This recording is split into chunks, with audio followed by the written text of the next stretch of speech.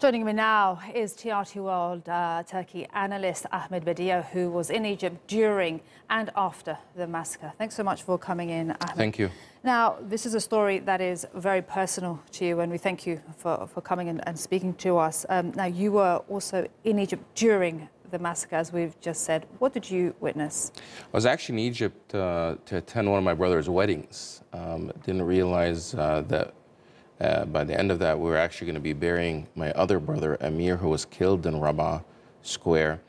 Uh, well, we witnessed uh, what I witnessed there. Uh, I wasn't there during the actual uh, massacre, but I was there in the aftermath the next day because we had to go retrieve my brother's body and do a funeral. And what I witnessed was, you know, the worst thing that I've ever imagined or had seen um, hundreds of bodies that were killed, that were assembled in a makeshift morgue, uh, which was, I think, a mosque called Al Iman Mosque.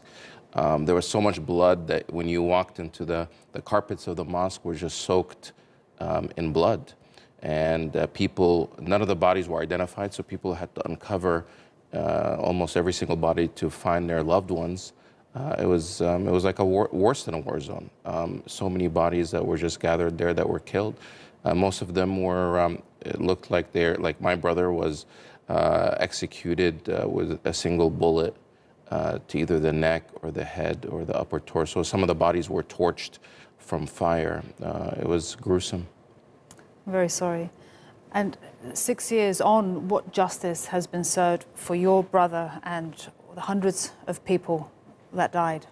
Um, in fact, none. No justice. Not a single person has, held, has been held accountable uh, for what happened that day. Uh, not even the ones that carried out the shooting, not the ones that were in command.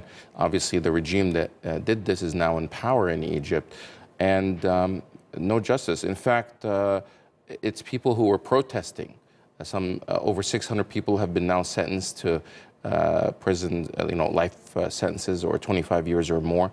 Those are the people that were actually protesting, um, and some 75 people or more have been sentenced to death um, in Egypt that participated in the protest. So there's no sense of justice. As one person uh, that was there said, you know, you don't seek justice in a country where there is no justice. Um, who do you seek the justice from?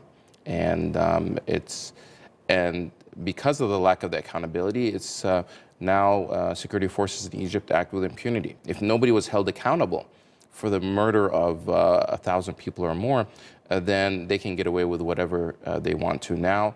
Uh, with um, you know uh, extrajudicial uh, killings and disappearances and torture.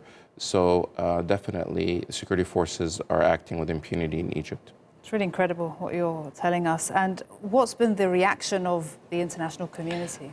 Um, very sad, uh, because especially in the West, I'm an American citizen, and in the West, um, uh, Western nations uh, regularly speak about the importance of human rights and democracy and uh, the rule of law. Well, um, their response has been hypocritical, uh, ignoring what's happening there. Uh, even some nations supporting the current regime in Egypt, not only turning a blind eye, and most uh, would refuse to even call it a coup. Now, of course, there are exceptions like Turkey, one of the few nations in the world that continues to call it a coup and has not restored relations with Egypt. Uh, so sh they should be commended for that. But uh, the rest of the world is turning a blind eye and continuing business as usual. Uh, in many ways, because of the money that's been pumped in by countries like Saudi Arabia and the United Arab Emirates uh, to buy off support all over the world. But despite the billions of dollars that have been pumped into Egypt to, to uh, support this regime, it continues to be very unpopular uh, in Egypt. And politically, this was um, considered the Rabaa Square um, massacre, the end of the Arab Spring. Do you agree with that? It probably it was a huge setback, obviously, for the Arab Spring because it shocked people and it was it showed how far these regimes are willing to go, how many people they're willing to kill to remain in power. So it was a setback, but they can't reverse what was has, has already been done, lifting the veil of fear. Um, so uh, the Arab Spring is on pause, but uh, at some point it will continue or return. And today, how do you think that it's, it's affected everyday people in Egypt? I mean, you described uh, the fear, the lack of impunity and, and, accountabi and accountability. Uh, you know, it's Egypt is very polarized now uh, in many ways, uh, but uh, more and more immediately after Rabaa Square, there was a lot of confusion. There was a lot of, uh, you know, Sisi and his regime enjoyed some support from people there that uh, feared the Muslim Brotherhood uh, being in power. But now, as time, as the promises of Sisi have not come to pass, in fact, Egypt's economy is uh, worst off today. And not only uh, has the Sisi regime gone after the Muslim Brotherhood and Islamist groups, but now they've gone after anyone who uh, you know opposes his regime. Uh, so socialist, uh, other left-leaning uh, you know movements and parties, many of their leaders are in jail. So the promises that he said he would do did not happen. So there's um, um, you know people that don't believe uh, in the Sisi regime anymore. Uh, but many of the people, the leadership that can uh, be, you know, that's able to oppose him are now in jail. There are some 60,000 people in prison. Um, so it's people are afraid, but they don't know what to do. Um, but I, he can't continue. I guess the regime can't continue. Uh, it's not sustainable to continue as they've been. Okay.